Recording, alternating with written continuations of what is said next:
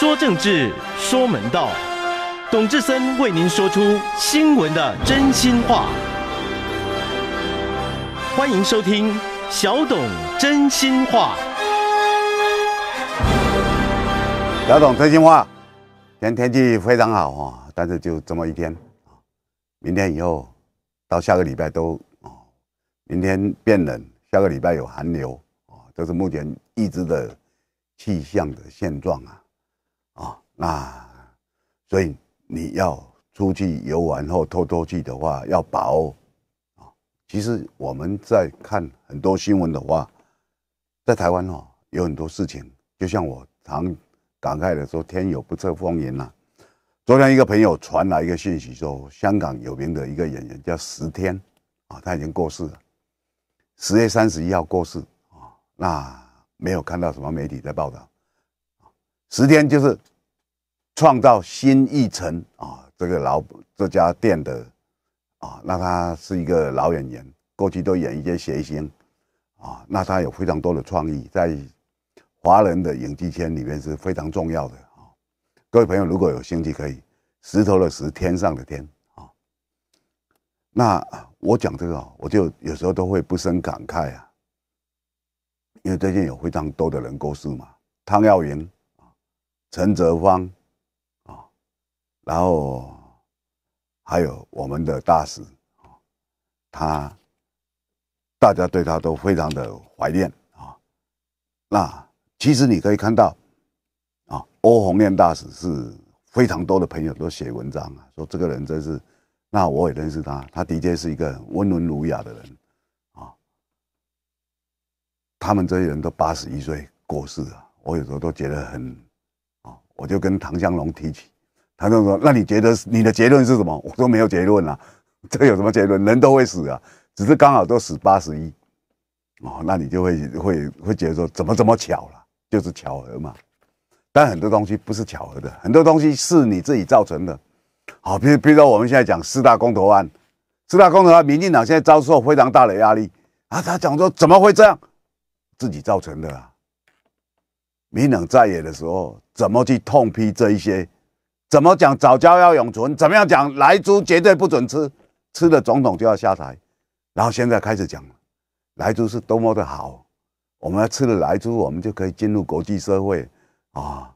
那说我们台湾会缺电，我们一定要盖三阶，三阶就会从桃园这里啊，桃早教这里要不要永存啊？各位朋友，这都这是鬼话。一个人讲很多话，他都会被检验了，对不对？台湾不缺电，是民进党讲的啊。台湾连核四都不用盖，台电厂的电有一点七座核四。那你就把这个店找出来就好啊！你再也就这样讲啊！你开记者会，大家都可以去看。现在 Google、Yahoo 都有，你去搜寻啊。所以你讲这些东西都是可笑的嘛！三阶、四阶都不用盖啊，四阶要盖在啊，盖在哪里？盖在基隆啊。协和电厂现在烧煤要改成烧天然气，烧天然气就要拉天然气的管，就要把海外买的天然气。停在基隆港这里，那基隆港这里很挤了，没有地了，怎么办？我们就把那海洋把它填沙、填土，然后破坏它的生态，盖十六点八公顷，简单讲就是这样。然后这里要放一个天然气接收站，然后把燃煤的协和电厂改成燃气的协和电厂，你接不接受？啊不不，会不会破坏生态？管它啊！对不对？他告诉你会没电，你不是讲电很多吗？今天碰到的情况都一样啊！各位朋友，现在台湾哦，你在台湾最幸福的事情就是有小董节目可以听。我真的讲，因为我把很多东西都挤出来，大家我挤的东西又百分之百是真，所以你现在怎么办？你现在哎，对啊，小董讲的都是真，那过去呢？过去那些人讲的什么话？你一原原本本为什么？因为我们有手机，有电脑，有。平板电脑，你 Google 然后搜寻，哎，小董讲的果然百分之百之真，小董果然不讲假话，不讲假话，哈哈，那油管就可以把你切断了。什么叫油管？YouTube 啊，啊，YouTube，Tube 就是管啊。这个讲起来很有意思啊。我过去啊，我在读金门高中时候，我就被叫去吹一种乐器，叫做 tuber，低音低音号，哦，那我负责两种乐器，一个就是盘在这里，然后哦，在你头顶上再放两公尺那么高的那个，哦，超大的喇叭，那个喇叭平常比较少用，哦，我们有时候要出去就用这个，所以你远远一看，哇，进雷队来，你第一个先看到什么？看到站在最后最后的那个那两个大喇叭，背着其中一个。哦，然后人家也很看，哇，军队队，哇，当然前面有指挥有什么，可是你看到了，永远是这两个喇叭非常大。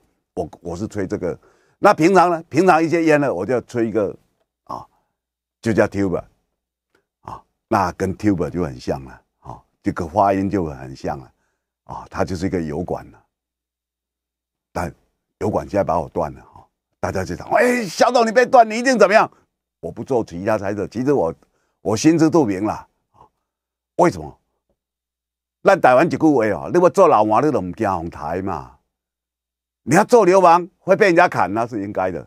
小董当然不是流氓啊，哦，但是我讲就是说，你做很多事情，你要想会有什么下场，会有什么后果，你都要想到嘛，对不对？你不能事情到临头才说，哎呀，这是我同事的小孩，跟他前男朋友生的。你要做这个事情，你要自己先知道嘛。对不对？你不能事情出了说，哎，我跟他是黄东跟黄哥的关系，这个讲不过去嘛。我我讲哦，有很多事情你是你是应该知道的。好，那小董哦，有时候讲这个东西很感慨啊。昨天上午柯文哲到台北市议会啊去做专栏报告，议员就问他，问他，你那时候不是讲你八年要盖五万路的公宅，你现在做不到啦，你自己承认啦。你只能盖一万八千户左右啊！柯文哲说：“你当初为什么会做这种判断？二零一四年你选台北市长，你打包票。”柯文哲说：“因为张景生告诉我，张景生那时候是柯文哲的创意总监啊，竞选创意总监啊。那张景生告诉我，我就相信他。柯文哲讲出来的时候，小董就不相信。我在节目上，在很多节目我说这不可能，这胡说八道。结果柯文哲阵营呛我，张景生呛我说。”啊，因为我说你连土地都没有，他们说他们已经有十九块土地，请我去 Google 然后搜寻。我说你们做不到就做不到，你们呢？你们市政没有人会比我熟啊！全台湾没有一个人台北市的市政府哦会比我熟，为什么？因为我跑太久了。我在跑的时候，市长是洗水的，有一块地不是表示就可以就可以盖公宅呀。我们台湾很多地。空的，你说，哎，这空的哪来盖？各位，你有没有经过火车站？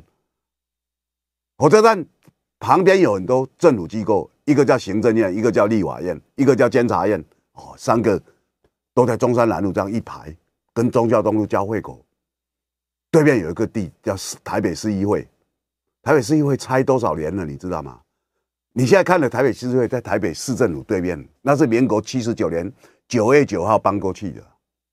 那原来的旧业会拆掉，拆多久了？有没有再重盖？有啊，有一块地在那里呀。为什么盖都不盖？这个精华区呀，你进入台北市你就看到了，对不对？火车站前面不得了，为什么？为什么放了二十几年？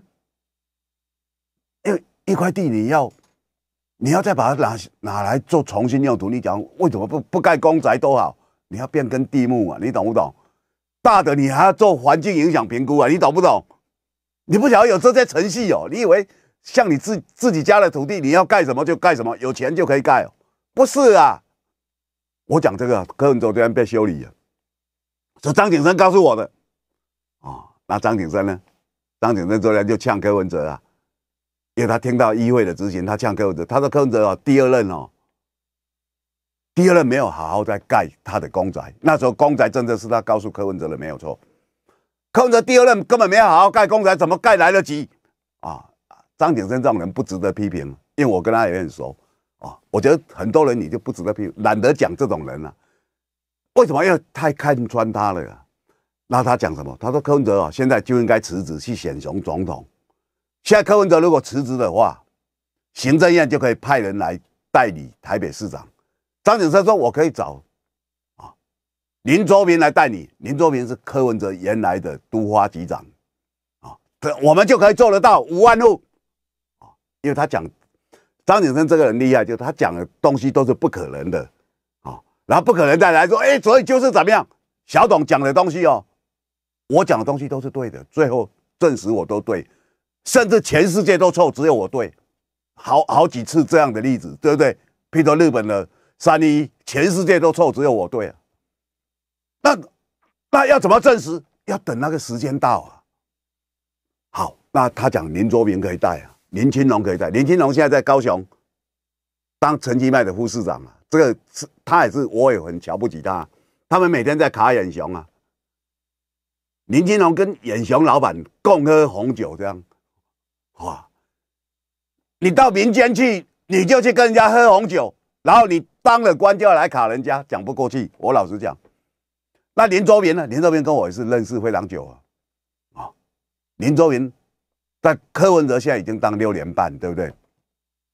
前面四年是林周明，那时候张景生告诉柯文哲是什么？我告诉各位，说给柯文哲当四年可以盖两万户，给柯文哲当八年两任可以盖五万户。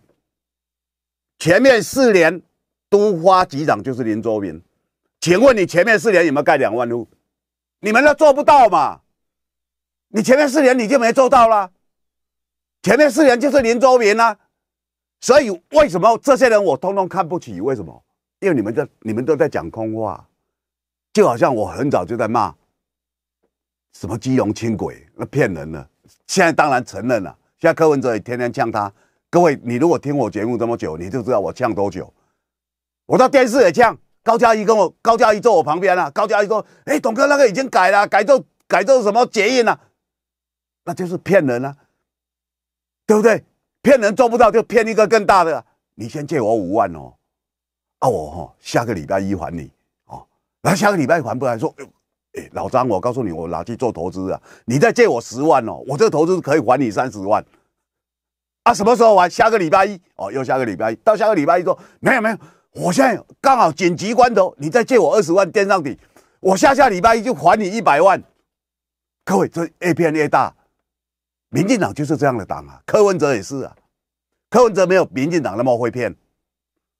那柯文哲说，因为过去是张景生告诉我，我告诉你做不到就做不到，行家在这里啊，我是我是小董，我是台北市跑台北市最厉害的记者，我我敢讲啊，你如果有亲戚朋友在跑台北市，你请他去打听一下，我是跑台北市最厉害的记者，了如指掌。为什么？因为我们很认真。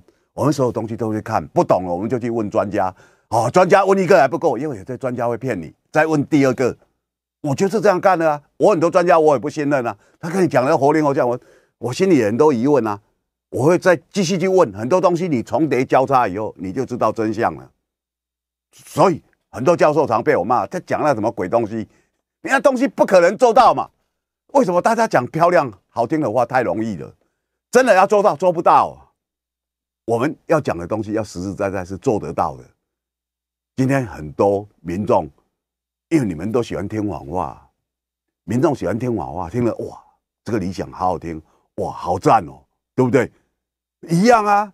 过去说要去宜兰，要多方便，要北移直铁，直铁要怎么盖？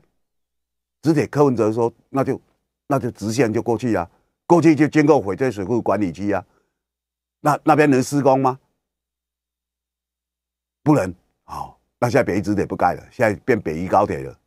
哦，高铁继续骗嘛，没有直铁有高铁嘛，就继续骗嘛。那他们是为了什么？为了炒地皮呀，对不对？大家都很清楚啊，现在都没有结论啊。各位，现在没结论啊，你有没有听到？现在到底站要设在哪里都不知道，要盖什么铁呀？你没有站，你要盖什么铁呀？这。好好笑哦，一路骗嘛，现在在继续骗说没有，我们现在不只要这样，要盖到宜兰，我们要盖全省绕一圈呐，高铁要绕全省一圈，你知道吗？等于说宜兰盖完以后要盖到花莲，花莲再盖到台东，台东台东再绕到屏东、高雄啊！各位现在是要这样盖，你有没有听懂？他们现在开出这样的计划，后来有人说啊，你交通部长你讲这个，你胡扯嘛？苏贞昌挺到，苏贞昌说要哦要有梦想啊，各位，你我老实讲，民进党就一路骗，反正听他的人就一路骗，被他骗嘛。那台湾人多数都没有尝试。我我讲，你要有尝试的话，你听小董节目就有尝试了。我讲的东西百分之百是真，我从来不讲假新闻。那我用这么多的真新闻去堆砌，告诉你说真相，其实将来会变成怎么样？我讲的东西是对的，很多人不相信啊。到到最后，哦，等我确实是我讲对了，也没有人会给我掌声啊，因为很多人就跳出来说：“你看，你看，就是这样。”当初那些跟我唱反调，现在都开始在收割啊。各位，但我也不在乎，因为我又不嫌弃，我就是自己讲的爽就好啊。我也希望我的朋朋友、我的听众朋友，哦，或者现在如果你已经被 YouTube 被断了哈，实在很对不起，绝对是我个人的因素了，哦，我我其实心里有数哦。那你就要从电脑里面去听我们九八新闻台的广播，或者从脸书里面去看我们的官方粉丝网哦，粉粉丝网。那目前为止只能这样，我自己也非常清楚。但是各位朋友，我们不管他为什么，因为你管他没有用啊，有些事情管他都没有用，所以我们就我们现在有的管道，我们尽量去讲我们的话。现在台湾的问题在哪里？台湾问题当然在民进党啊！你现在所讲的问题，就好像我昨天讲世界贸易组织，我们的代表说：“哎，中国大陆不给我们水果经济。”我说：“你笑话，你你还有脸在讲这个话，对不对？”现实问题啊！马英九时代为什么水果都没有这些问题？为什么你民进党执政就有这个问题？为什么民进党执政，中国大陆的飞机在那边飞来飞去？为什么马英九时代为什么不会有？你就拿来做比较啊！对啊，为什么别人没有的问题，通通在你身上发现？那表示是你的问题呀！台湾最大的国安危机就是民进党执政，就是蔡英文当总统嘛。你们就是最大的国安危机，不然现在为什么兵凶战危？为什么说哇？我们要求生手册哦，三月就要发行了，好好笑。求生手册来问我，我最懂啊。那可求生手册没有用啊，那因为你们根本不不相信嘛，对不对？没有人会相信嘛。我怎么求生呢？大家在乎了，谁管你求生不求生？在乎了，只要只要我的手机不断线就好了。年轻朋友不是在乎这个吗？手机不断线就好了。好，那你去，你你现在知道了。你如果被叫招十四天，十四天，十四天，对你最不能接受，就是因为不能带手机呀，不能带智慧型手机呀，哦，对不对？我们现在金钟规定，你的手机不能有照相功能，因为你会拍一些东西到脸上去发布，脸书去发布，而且你们这些人很恶劣、很可恶，是怎么样？我拍了一堆东西，然后我退伍以后，我开始去发布啊，怎么样怎么样？我们的国际金钟哦，怎么样怎么样？哇！然后很多人就来哇，暗赞呐，哇！然后你的啊，你的流量就多很多啊。那那那金光单位气得要死，原来被你这个家伙偷偷拍的，这个偷偷拍的啊，里面很多是跟机密有关的，谁管你呀？我只要流量，我哪管你什么国家安全？现在谁不是这样啊？所以。我们现在当兵当四个月，老实讲，连枪都不会。林辉环拿过枪吗？陈伟霆拿过枪吗？林长佐拿过枪吗？那每天都要跟人家打仗，连枪都没拿过。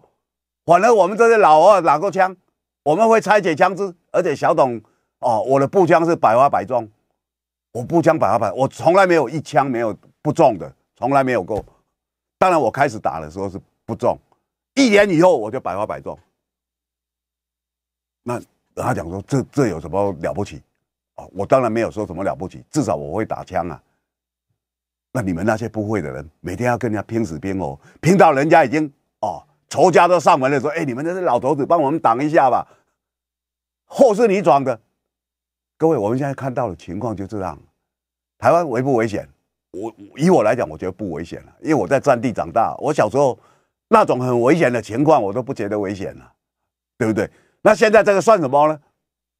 我小时候，今天早上唐香龙找我去上他的《龙行天下》，他说：“哎，现在台湾已经变金门化了，哦，不是金门威了哈，金门化。画谁的画哈？小董讲新闻，他台湾已经变金金门化，我就插眼了。他说，可是已经有点那战地震怒的样子。我说没有错，民党要塑造这样，对他选举有利嘛。我说你知道我小时候晚上在睡觉，大概三四点，就就我们我们的那个防空啊，空军的防炮单位，我们家附近都有，各村庄旁边都有，到处是了。金门因为到处是啊，那个。黄炮单位就占了我家一块地，上面就盖了水泥，盖了营房，然后盖了地下室，然后上面放一门炮，啊，大概十几个人、二十几个人就就驻扎在这里啊，也没跟你商量，也没跟你，也没付租金，但是我们知道战争嘛，没关系，然后就大家也知道，小董小董也有很多块地呀，我哦，但我的地现在都是划在国家公园里面，哦，这祖先留下来的，那我们我晚上的经验是怎么样？晚上三四点睡觉，哒哒哒哒哒哒哒哒哒，就是黄炮的，一个礼拜大概哦，平均大概两次左右，就半夜，然后你就醒了，听了醒了这样哦哦，又又打了，然后等一下换另外一个村庄的那角落，哒哒哒哒哒哒，声音就比较小，我们村庄我们听了就比较清楚，为什么？因为敌机来袭嘛，他来上空，我们就要打他或者把他驱赶嘛，哦，就这样，从小时候这很多年我都有这个印象啊。那唐湘龙说：“那你怎么睡觉呢？”我说：“啊，听完以后就继续睡啊，还有人怎么样？习惯了战争啊，战争挑起战争人比较可怕。各位朋友，那就是民进党，就是蔡。欢迎小董真心话。各位知道，现在台湾最热闹的事情就是四大公投案啊，当然还有一个事情也很、也很、也很离奇啦，就是脏话一个凶杀案。”有个先生包养了一个酒家女，被酒家女找人把他干掉了，啊，然后把钱拿走了，啊，那这个张先生哦，他跟这个酒家女的故事，这两天很多人都在讲啊。他被杀了以后，被开膛破肚，肚子都装了一堆石头，为什么？身上也绑了很多砖块，要把他沉到东罗西呀，脏话的东罗西，沉到下面没有人看到。把你干掉，钱拿走，每个月十万块养包养酒家女，哦，现在的包养原来是有行情的，有人是六万块，有人是十万块。不过六万块不是酒家女，哦，那是一个护护士啊，对不对？大家都记得嘛，哦，所以六万或十万可能也是行情或什么，我是不太清楚。但是这个故事为什么会很多人谈？因为太凶残了，而且全家参与，哦，那我们看。在台湾这种街头巷议里面，很多的事情哦，很多事情啊，大家觉得很残忍，但是觉得和自己不会有关系。那什么会和自己有关系？吃猪肉就会有关系，对不对？今天上午朱立伦到云林的市场，那些卖肉的都很气啊。民进党政府要让那个小抵押吧，小抵押吧，其实小抵小抵押吧，我们如果翻译过叫。疯的猪了，就是已经发狂啊的猪了。那其实这个是台湾话里面有些猪只会发狂，哇，那个猪发狂起来很凶哦，那个是得病了。那小底阿吧啊，我们就简称叫做莱克多巴胺的猪。朱立伦啊，到银林哦，哇，那些瘫痪，很多人就觉得说一定会出来投票反反对民进党那个，所以你反对他。这四张票要通通盖同意哦，不要被民进党的话术给骗了。他会说你不同意来租哦，所以你要盖不同意，那就被民进党骗了。其实你是要盖同意的，哦，那我们其实可以看到啊，这个就是一个民间的力量。这个力力量来自哪里？来自民进党啊，因为他过去讲太多的话，现在就要被检验了。那检验以后，你会发现哇，对啊。原来台湾有这么多的事情，我们都被民进党骗了，没有错。政客的骗术是很厉害的啊。那民党已经啊，前天已经推出林静怡了。林静怡要选中二选区，就是这个选区啊。当然大家知道，严清标跟严宽仁父子当了很多年啊。那陈柏威被罢免以后，就要有人来重选嘛。林静怡是个医生，在台中当医生。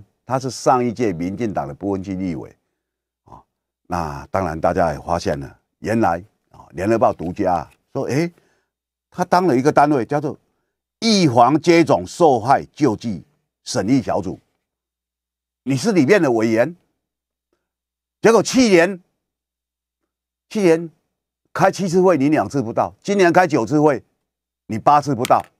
哦，去年五次不到啊，去年七次会五次不到，今今年九次会八次不到。那你这个小组，你当人家委员，怎么可以这样呢？昨天陈时中就被问了，那林建怡就解释啊，说：“哎呀，没有没有。”我是哦，因为国民党一直骂我护航高端，我就干脆不去开这开这个会啊。其实这是假的啊，因为我们在讨论高端的护航哦，是从什么时候开始？从七八月才开始，现在才十一月。今年年初有谁在？今年半前半年有谁在讨论高端？你都不理他，高端一路在在讲东西都不对嘛。高端现在二期还没有过哦，各位朋友，我们人体实验。现在国际上都是做三期，那如果不是因为疫情很紧急，一定要做完四期呀。高端现在二期没有过，他那那时候告诉我们什么？二二期哦，我们十月底会出来。各位朋友，你今天是几号啊？今天是十一月五号哎。今天是十一月五号，很多人讲话你要去检验。小董就我我会去检验啊，因为很多人讲话你就听了就过了，过了以后最后没有啊啊没有没有就算了。没有就算，那就叫战哥政客好瑞瑞，对不对？这种人讲话你就不要信了。陈明文十月五号呛，如果高铁宜兰站哦，一个月之内哦没有决定设站的地点，交通部长给我下台。陈明文是现在是立法院最大咖，他比尤熙坤大咖，对不对？他是英系掌门人嘛。各位朋友，那今天就十一月五号了。你说，哎，小董，你怎么突然想起这个？我也是突然想起，但是我会把你、你、你要求的那个日子啊，陈明文十月五号在咆哮的时候，我会记得的。好，那我就等你十一月五号。所以我心中就有一个十一月五号的哦。现在就突然想到，那我说，交通部长没下台啊？那陈明文你下台啊？啊，不然你在空口说什么白话？对不对？你说高铁宜兰站。一个月之内没有确定他的设站地点，看是四城站还是宜兰市站。如果没有确定的话，交通部长要下台？没有啊，他没下台啊。那没下台，你陈明文下台啊？我讲这东西是不是简单？陈明文为什么那么火大？因为陈陈明文听到人家讲高铁两个字就气得抓狂啊！你说陈明文跟高铁两个字为什么会气得抓狂？因为他有一次带三百万现金遗落在高铁呀。有很多人质疑他，各位，你要你要看哦，很多人是很多人，你用两个字就可以触犯他的敏感神经，你知道吧？对不对？你要讲蔡英文，蔡英文平常看你笑眯眯，你只要跟他讲说论文，只要讲论文这两个字，蔡英文脸色马上会拉下来。我不骗你啊，因为那就叫痛处啊，你踩到痛脚啊，哦，就就这么回事。所以你看到这些哦来讲的话。那林静怡这个事情就更离谱了。今年开九次会，他只到过一次啊。他说：“你们哦，因为被人家质疑，他说因为你们都说我我在护航高端，我就不参加。今年六月之前，没有人没有人在讲什么高端不高端，要护航不护航，对不对？而且这个是一个是一个叫什么名称呢？预防接种受害救济审议小组。那时候的。那时候高端根本还没出来，哪有什么预防接种呢？那时候哪有人在接种高端呢？高端接种也不够，也不够九月、八月、八月二十三号第一支季第一季嘛，对不对？八月二十三，蔡英文去打，我说哇，蔡英文把它当做八八二三炮战。我在节目上讲，所以高端的第一季打是八月二十三打，那哪有什么高端护航不护航？因为疫苗接种受害。你一定要打了才会受害嘛，所以根本和高端没有关系。那林静怡为什么你情愿这样去说谎？因为他推脱啊，他现在代表民进党选举啊，国民党的啊黄子哲啊副主任文传会副主任啊，因为黄子哲常跟我一起上电视，他说他去查了一下，黄子哲是很认真的朋友啊，黄子哲非常认真哦。我因为国民党鬼混的人特别多。那认真的人，我我也会都看在眼里。我不是国民党党员啊，他就去找，他把你没有去的那几天哦，那九次哦，去比对林静怡在干嘛？因为他判断林静怡一定有不能不，一定有不去的理由嘛。原来这九次有六次。他八他不是八次没去吗？开他只有去一次，八次没有去。他把他算了一下，他有六次刚好在上民事跟三立的节目，可谓这个就认真了，对不对？像黄子哲这个就很认真了啊，在国民党里面认真的他还有罗志强啊，罗志强那种死缠烂打的方式是过去民进党在野时候才会有的。你想想，一个人你要夜宿四十九天，哎，那是很困难的嘞。我老实讲。我昨天碰到游淑慧，游淑慧说他要去夜宿，可是他昨天腰刚好特别痛啊，不是腰啊，那个背啊，他的背特别痛，因为他有个怎么样毛病发作。我说那你跟他讲不要提，他不行，我们讲了就要去呀。哦，那他们昨天好几个人去，潘怀忠啦谁啊就去，那去当然就要挺罗志强。那你要四十九天是，其实嘴巴讲很容易，其实是很困难的，对不对？那是那是很难的啊，那真的去。做你当天当中会碰到下雨，会碰到寒流，譬如说下个礼拜你就要碰到寒流了，哦，那就晚上特别冷，而且那地方不好睡啊，哦，所以我我说哦，国民党里面有几个是不错的，凭良心讲啊，那那林静怡，林静现在蔡英文要替他有壮胆有声势，这个声势会不会做起来？会，而且我对他能够当选，我还蛮乐观的哦。然后小董，你神经病，你乐观什么？他是立赢的，不，我讲新闻要就事论事啊。我我凭良心讲，我是就事论事，我很我很不愿意他当选了。我罢免陈柏维，我有出了一些力，因为我下去嘛，对不对？我到菜市场去叫大家罢免陈柏维嘛。那我我们把陈柏维罢免掉，并不是要林静怡这种人上来啊。其实林静怡这种陈柏维被罢免，谁最高兴？民进党啊！你们不知道，林长佐被罢免，民进党最高兴啊。林长佐如果没有罢免成，这边永远是林长佐在当立委啊。林长佐也不可能到部会去当首长嘛，对不对？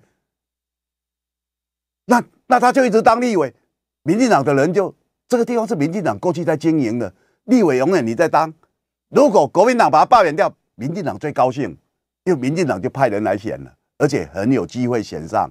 那陈伯会被罢免了，民进党最高兴啊？为什么？因为。民进党的人就可以来这里选，而且当选的机会很大。很多人在讲：“哎呀，这个 DC 严金彪不是小董你的朋友吗？严官人跟你也不错啊。”那是一回事啊！我这我在讲了，我讲新闻，我要讲真实的东西呀。我当然知道里面有很多感情成分在，我碰到感情我会讲。可是胜负我不能说，因为他是我好朋友，他一定会当选，我不会这样讲啊。各位，我们讲新闻，你要有理性在里面。要不然你自己的生意就赔进去了，对不对？人家对你有信心，结果讲了，你最后讲出来东西是错的。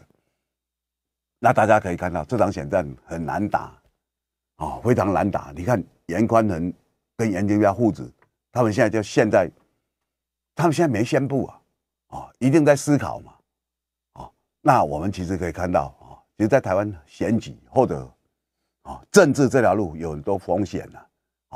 你没有办法一直长期之路很平顺的啊，一样，就像我在当评论，我也没有办法很平顺啊，哦，那些王叉叉要把你停，你就停了，你有办法。欢迎小董真心话，即使台湾被民党搞得乌烟瘴气啊，啊，然后每天都在骗啊，其实有些地方的首长还是很努力啊。全球八大新兴的旅游目的地，唯一切屏中选的。就是台中市啊，啊，这是一本国际的刊物，叫 Booking.com，B O O K I N G 啊，Booking，然后再打 com 啊，一点 C O M，各位朋友可以上网。那为什么台中会切屏中选？全球八个啊，台湾只有一个啊，因为因为他说，因为这地方啊经营的很啊，很适合大家去旅游啊，新兴的旅游景点。啊，他做了很多友善的措施。那台中市长卢秀燕昨天啊，他们就去了一个地方，带大家去看啊。这个地方啊，现在已经变成小希腊。各位知道希腊的星空是很美的啊。余光中说啊，今天的星空很希腊。那希腊是怎么样呢？希腊海水，克里特啊，然后大家看到了，你会想到什么？你会想到哦，一片白白的房子啊，或者蓝色的屋顶，蓝色的天空，就觉得很像啊。其实啊，其实马祖的北干啊，秦壁乡也很像啊，对不对？大家哇，这是希腊嘛？啊，那秦壁我去过几次啊，的确很漂亮啊。那还有哪里？各位朋友，就是台中龙井，龙井，龙井就是中二险区啊，中二险区的一个这。那它有个地方叫做丽水里，我们电台这里有个地方叫丽水街啊。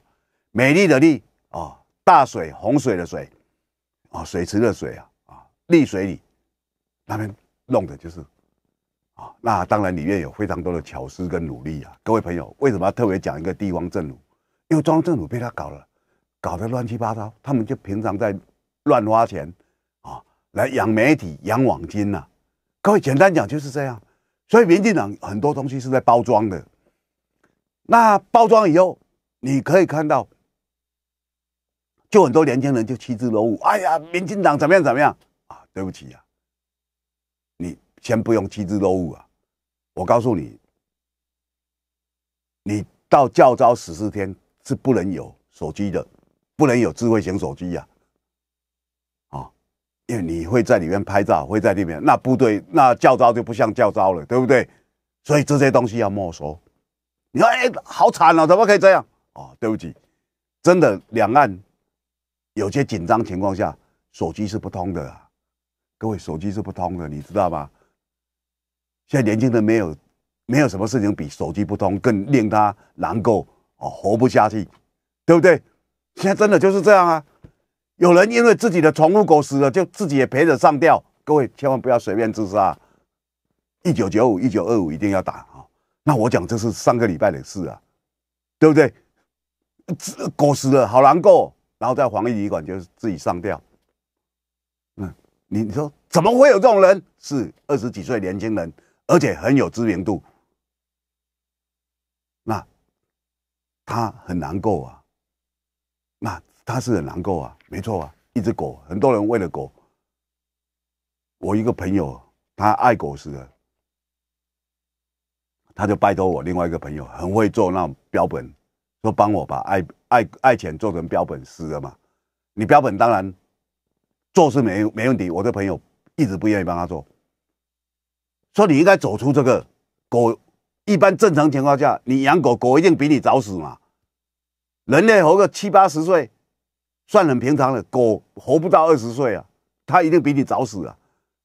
不听，非要不可。后来找别人做了那当然。哦，这个前辈他也过世了。他是一个很有气节的一个，他过去在美国马里兰大学教书，他叫邱宏达教授。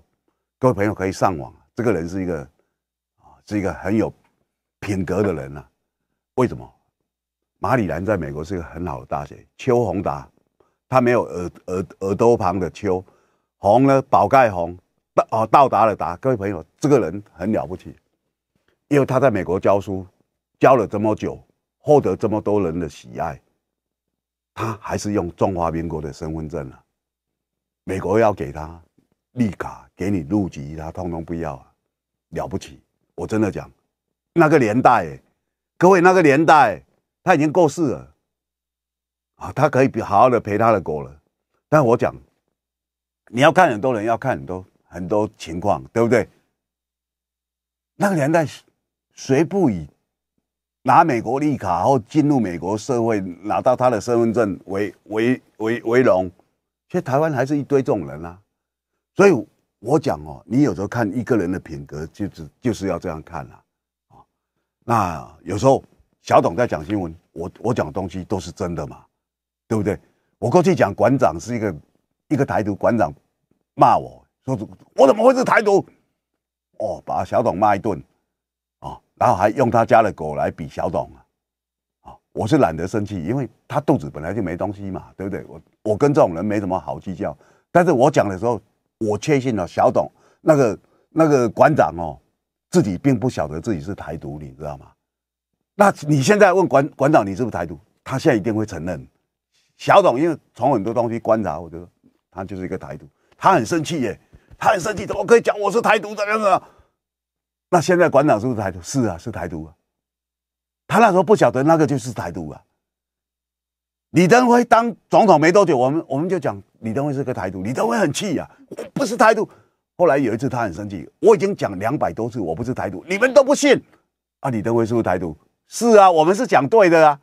他自己当台独，他他不知道啊，对不对？很多男人自己戴绿帽子戴了很多年，自己不知道啊。我们旁边人都知道，跟他讲，跟他暗示他，他也不听，对不对？他认为他的帽子是蓝色的，是黑色的。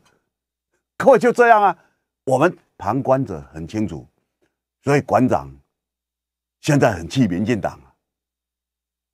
馆长说民进党，民进党是一个啊假台独、真贪污的台独狗，假台独、真贪污的台独狗，哦，馆长讲的。但馆长因为他是台独，他不会被关台啊。他骂了那么多三字经。他骂民党是狗，哎，不会不会有事，因为他们他们他们是同一国的嘛，对不对？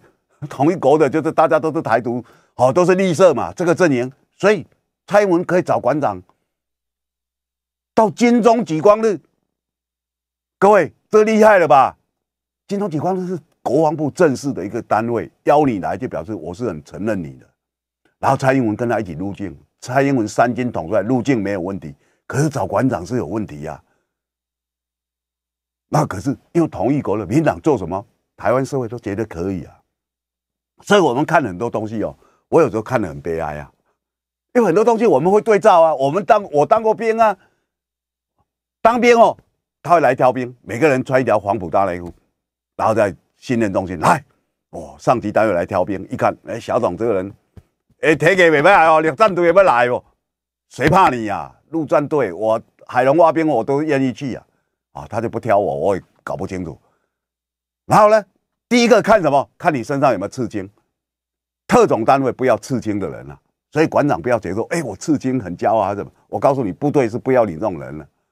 我我讲真的，部队是为什么要你穿黄埔大内裤，全身光溜溜？要看你有没有刺啊，你知道吗？啊，要是看你横眉竖目，他要看你有没有刺在你的黄埔大内裤里面。有些人吃在里面，你知道吗？真的，我我看过啊，所以我讲哦，在台湾社会光怪陆离的事情很多，但是你都听小董节目，很多东西你就很清楚了哦。祝周末。